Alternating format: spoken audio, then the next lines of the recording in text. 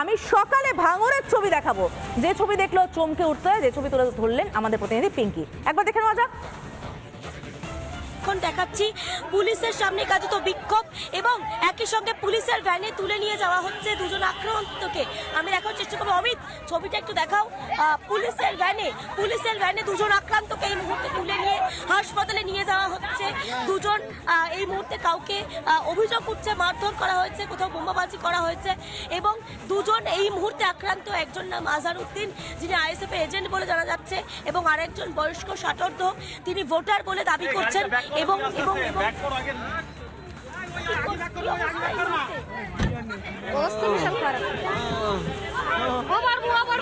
আমি আমি একটু দেখাবো, ছবিটা দেখাবো ছবিটা দেখাবো। দেখো, এই মুহূর্তে পুলিশ এবং সেন্ট্রাল ফোর্সের কার্যত যৌথ অভিযান, পুরো যে গ্রাম আইএসএফ এবং তৃণমূলে কিছুক্ষণ আগেই কার্যত সংঘর্ষের ঘটনা থাকে। করছি। এই মুহূর্তে এই যে ছবি দেখানোর চেষ্টা করছি, ইট বৃষ্টি। পুলিশকে লক্ষ্য করে ইট বৃষ্টি গ্রামের মধ্যে থেকে। সাতুলিয়া সাতুলিয়া অঞ্চল সেখানে পুলিশ কার্যত টেনে যায় যে জমায়েত ছিল। সেই জমায়েত খালি করার জন্য, সেই জমায়েত খালি করার জন্য যে মুহূর্তে টেনে যায় বা লাঠিচার্জ শুরু করে, সেই সময় পুলিশকে লক্ষ্য করে ইট বৃষ্টি শুরু হয়। যে ছবিটা। Police police!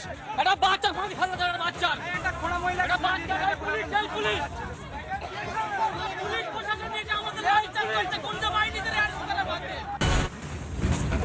পর্যন্ত সকাল থেকে যতগুলো খবর আমরা দেখালাম, প্রত্যেক জায়গায় অভিযোগ আপনারা করছেন তৃণমূলের বিরুদ্ধে।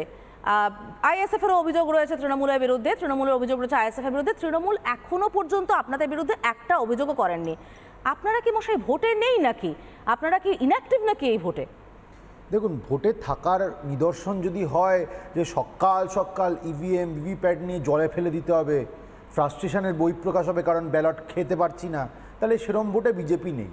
বিজেপি বিশ্বাস করে যে জনগণ এই লোকসভা ইলেকশনে স্বতঃস্ফূর্তভাবে বেরিয়ে এসে এই দুর্বৃত্ত, চোরচিটিংবাজ, ধাপ্পাবাজ তৃণমূলকে উৎখাত করবে। সেই ভোটে আমরা আছি।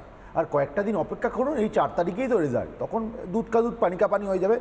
বুঝতে পারবেন, এই যে দুর্বৃত্তায়ন করছে তারা, এই যে হিংসা করছে তারা এই যে মানুষদের ভয় দেখাচ্ছে মারছে সকাল থেকে চা বিস্কুট খেয়ে পকেটে বোমা নিয়ে বেরিয়ে পড়েছে দৌড়াতে দৌড়াতে। এক হাতে লাঠি আর এক হাতে বোমা। মানে নির্লজ্জতার কোন পর্যায়ে চলে গেছে তৃণমূল কংগ্রেস?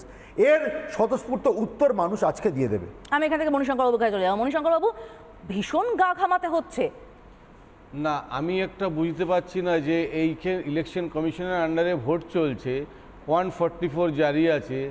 আমি যখন ভোট দিতে গেলাম তখন তো দেখলাম কেন্দ্রীয় বাহিনী আছে সেখানে কোনো স্টেটের পুলিশ কিন্তু নেই মানে যেখানে বুথে বুথে। তা সত্ত্বেও তাহলে ইলেকশন কমিশন কীভাবে পরি- পরিচালিত করে এগুলোকে?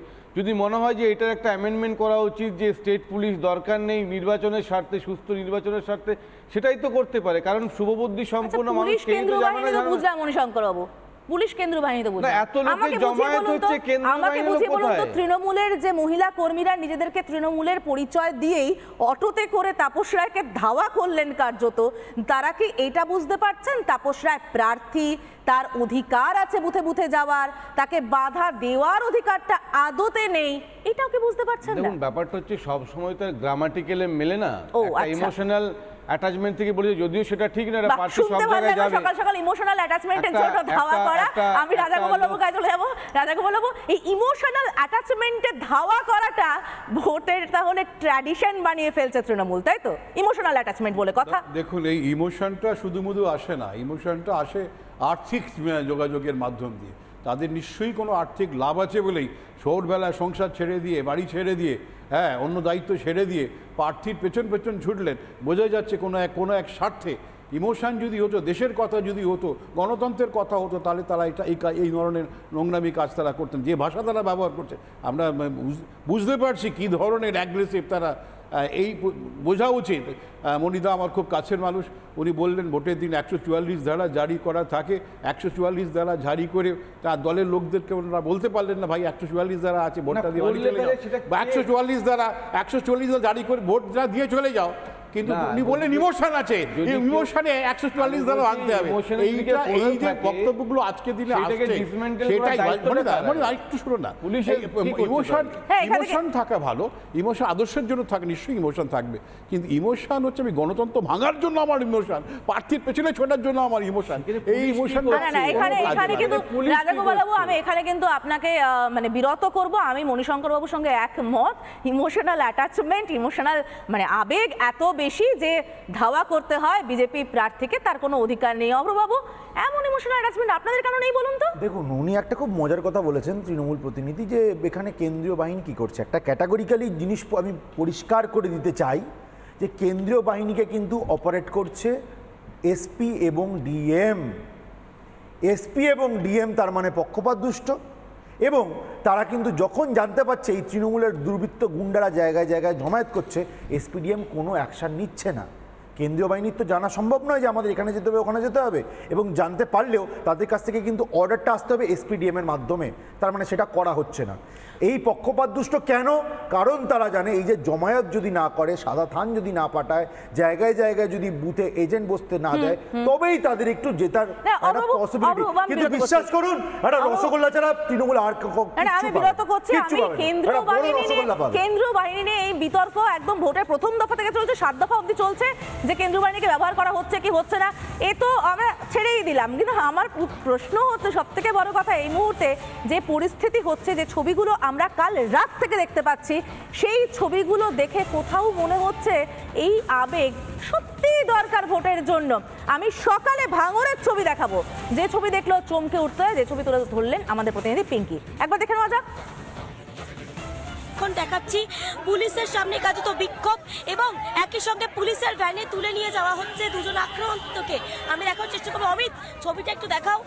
পুলিশের ভ্যানে পুলিশের ভ্যানে দুজন আক্রান্তকে এই মুহূর্তে তুলে নিয়ে হাসপাতালে নিয়ে যাওয়া হচ্ছে। দুজন এই মুহূর্তে কাউকে অভিযোগ উঠছে মারধর করা হয়েছে কোথাও বোমাবাজি করা হয়েছে এবং দুজন এই মুহূর্তে আক্রান্ত। একজন নাম আজহার উদ্দিন যিনি আইএসএফ এজেন্ট বলে জানা যাচ্ছে এবং আরেকজন বয়স্ক ষাটর্ধ। তিনি ভোটার বলে দাবি করছেন। এবং এবং